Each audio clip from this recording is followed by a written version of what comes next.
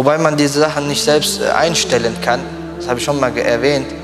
Du kannst nicht einstellen, äh, diese Gefühle, die man hat, Empfinden, das man hat, das kannst du nicht einstellen. Da gibt es keine Hebel und Schalter, wo man, man sagt, hier ein bisschen hochstellen, ein bisschen runter, die Pegel einstellen.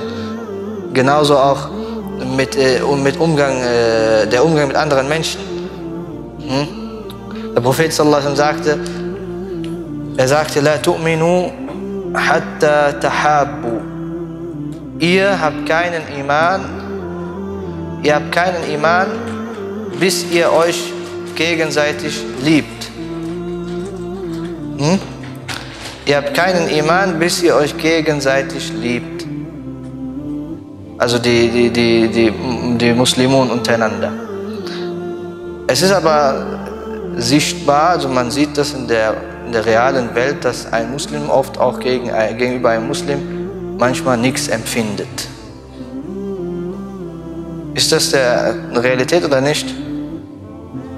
Der Prophet sagt aber, ihr habt keinen Iman, bis ihr euch gegenseitig liebt, also alle. Du kannst dir nicht sagen, gut, ich liebe den jetzt mal. Das ist ja nicht Sinn und der Zweck der Sache, ne? Das so auszusprechen ist nicht Sinn und der Zweck. Ich habe gesagt, die Liebe ist etwas, was man empfindet und das äußert sich dann in deinem Verhalten, deinen Aussagen. Wenn du einfach nur so sagst, ich liebe ihn mal jetzt, oder du redest dir ein, gut, ich liebe ihn, das ist nicht Sinn und Zweck der Sache. Und deswegen sagt der Prophet danach, soll ich euch sagen, wie ihr euch liebt? Also wie, ihr, wie, ihr dazu, wie, wie es dazu kommen kann, weil das ist ein Hinweis darauf, dass Liebe und derartige Dinge nicht ikhtiari sind. Ikhtiari heißt, sie sind nicht in deinem Vermögen. Also du kannst es nicht einstellen, du kannst es nicht selbst äh, wollen. Er sagte dann, verbreitet den Salam unter euch. Das ist nur ein Beispiel. Äh, was er damit sagen möchte, ist, dass die Liebe verursacht wird durch Auslöser. Es gibt Auslöser dafür. Deine Aufgabe ist es, diese Auslöser zu suchen und sie umzusetzen, damit diese Liebe entsteht. Versteht ihr?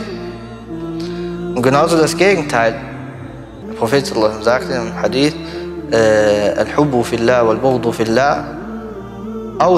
al-Iman. Die Liebe und die Abscheu für Allah gehört zu den Fest, zum festen Halt des Imans.